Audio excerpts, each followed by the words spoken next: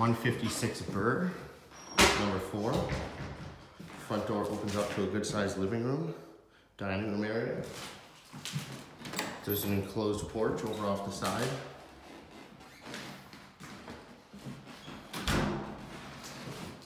So this way you have your dining room that leads right into your kitchen.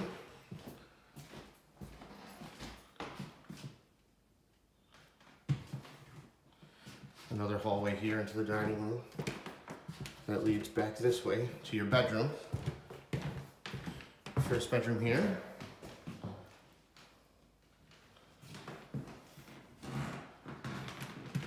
And your second bedroom here in the back. And then right off of that bedroom, we have our bathroom.